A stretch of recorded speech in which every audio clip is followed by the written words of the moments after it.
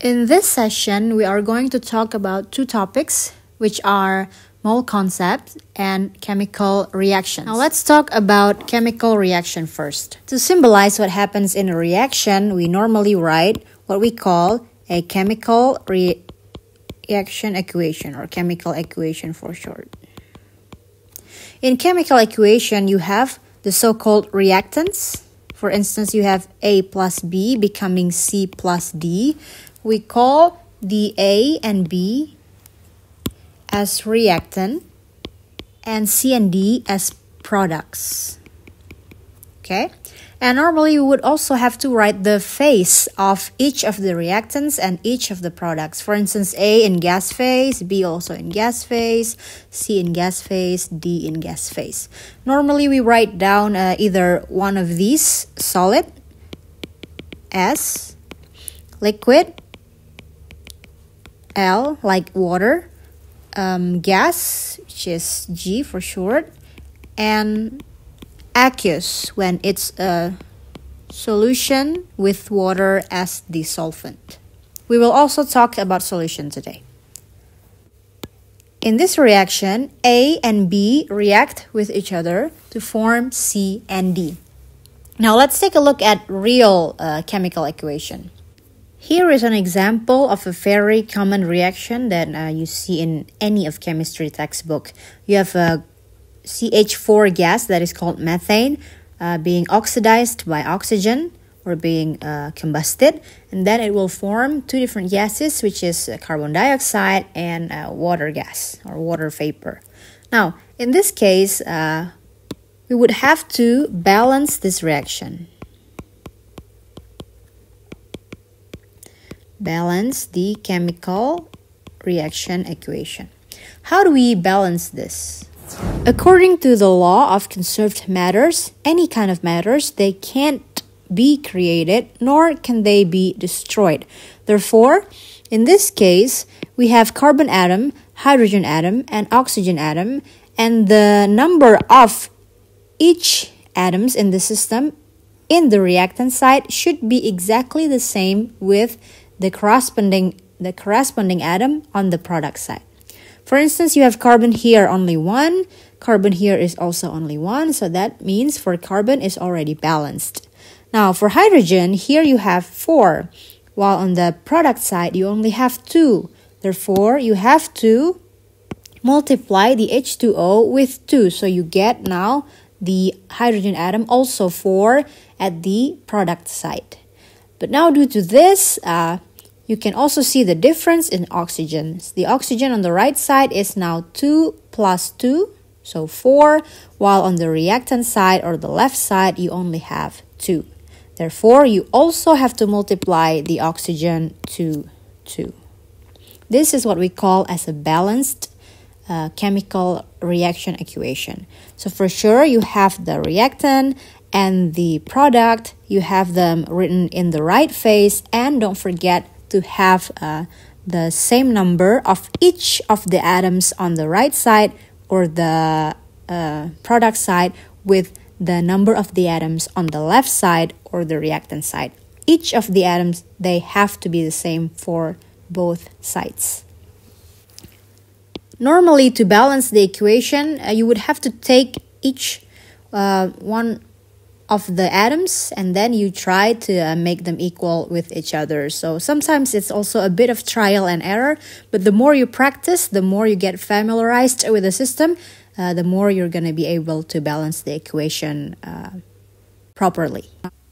Let's discuss now the reaction in solution. But first, we have to understand uh, what a solution system is. So, a solution is a homogeneous system that contains what we call solute plus solvent. Solvent is the component with the largest amount. When we write the phase to be aqueous, that means the solvent is water or H2O. The solute can be anything. It can be salt, like sodium chloride. It could be organic uh, compound, like glucose. It could be an acid, like hydrochloric acid.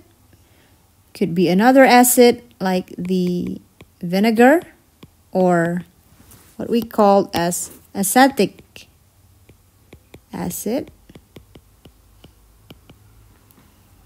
and so on. These are the solute. Of course, the solute is present in smaller amount in comparison to the solvent.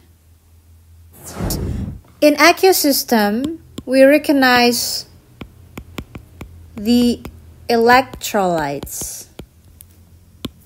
Electrolytes are a system that is capable of conducting electricity. This occurs due to the presence of ions in the aqueous phase. Some of the compounds in nature they will become strong electrolytes and some other are weak electrolytes. How do we differentiate strong from weak electrolytes? Strong electrolytes usually comprises strong acid, strong base, strong acids, yeah, strong bases and salts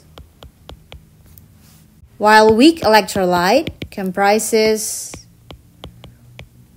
weak acids and weak bases. Now, in this case, you have to be able to remember and get yourself familiarized with strong acids versus weak acids, strong bases versus weak bases. Now you're looking at a table that contains a list of strong acids, strong bases, weak acids, and weak bases. Strong acids include hydrochloric acid, nitric acid, sulfuric acid, perchloric acid, hydrobromic acid, and hydroiodic acid, while strong bases include lithium hydroxide, sodium hydroxide, potassium hydroxide, calcium hydroxide, barium hydroxide, and strontium hydroxide. All common strong acids and bases are shown in this list that I took from our textbook. On the other hand, you can also see the examples of weak acids, which are phosphoric acid, H3PO4, hydrofluoric acid, HF, acetic acid or uh, the acid in vinegar, CH3COOH, hydrocyanic acid, HCN, and also weak bases like ammonia, NH3, and methylamine, CH3NH2. Now, the weak acids and weak bases here are only some of the examples. There are many more examples of weak acids and weak bases, especially the uh, organic acids that, ha- uh, that have carbon and hydrogen in um, its constituent. Now, the difference between strong acids and strong bases versus the weak ones mainly is the strong one, for instance, HCl in water, it will dissociate completely into its ions Cl minus and H plus. If we have weak acid like the vinegar or CH3COOH, this will only dissociate partially. So you draw an arrow that goes both ways like this because the dissociation process only occurs partially into the ions. Because the weak acids only dissociate partially, that's why we call this weak electrolytes. So weak acid are weak electrolytes while strong acid are strong electrolytes. The same goes for the bases.